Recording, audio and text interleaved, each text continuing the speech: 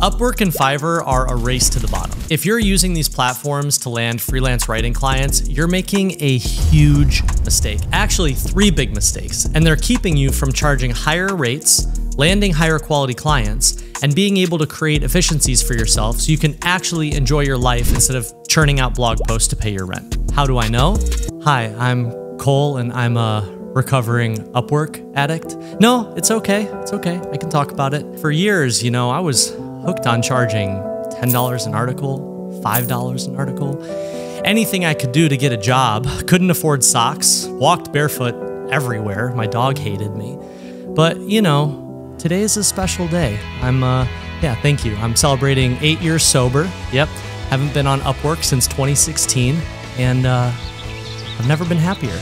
Yeah, so thanks everyone. You think I'm joking, but I'm actually being serious. If you've been thinking about getting into freelance writing to make a little extra money, or if you've been freelancing for a while, but your earnings are stuck, then we need to talk about the three big mistakes that hold 99% of freelance writers back and what to do to solve each one. So that by the end of this video, you know how to avoid that dark and dismal fate of being just another freelancer on Upwork or Fiverr trying to differentiate yourself by charging less than the next person. There's a better way. Mistake number one, using the wrong language to describe what you do. So what's the difference between a cashier and a concierge? It's essentially the same job, but in a small business, maybe an ice cream parlor or something, you're called a cashier. But in a luxury hotel, you're called a concierge. People like to believe that words don't matter, but they do. And so, in the same way that words can either attract or repel you from buying a certain product, words can also attract or repel other people from wanting to work with you. So, when you call yourself a freelance writer, in a metaphor,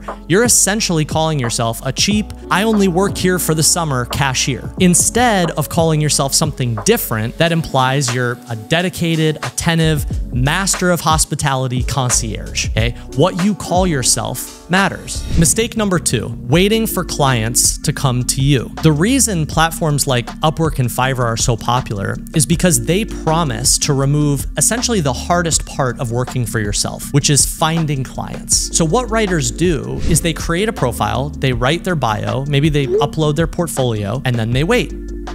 And they wait. And they wait because they think the platform is going to take care of the rest. The problem is when you're waiting for someone else to come to you, you have no pricing power. You have no leverage. The other person is the one setting the terms, and you have no choice but to say yes or no. So, this is the big pro con of these types of job opportunity platforms. Sure, they bring you clients, but those clients have all the power, which is why the entire Upwork and Fiverr ecosystem is a million freelance writers all responding and reacting and trying to compete against each other for who can charge the least. So here's a good rule of thumb. When the client pitches you, they win. When you pitch the client, you win. The only way to break out of this power dynamic is to leave these race to the bottom ecosystems and be the one to reach out to the client directly. Mistake number three, working with an employee mindset. This is so subtle, but it's the thing that ends up holding writers back the most. When you land a client on Upwork or Fiverr, think about what's actually happening. They create a job posting, you apply for that job, aka you compete, sort of like a linguistic bodybuilder in a tiny pair of swim trunks saying, pick me, pick me. And then if you get hired, the entire dynamic of your relationship with that client is based in the following context. I work for you. You are a lowly contractor. You are a cheap vendor. You are an employee. And because freelance writers on some level know this, that's how they treat the entire project. I'm an employee. Tell me what to do and I'll do it. Here's a little secret. No business owner wants employees. They want the opposite of an employee. They don't want to tell you what to do. That's time consuming. That puts the burden on them. Now they have to think. Instead, what a business owner actually wants is someone to consult them, someone to educate them, someone who works with them like a co collaborator, not some intern waiting for instructions. Now, every time I walk writers through these mistakes, I always hear the same objections back.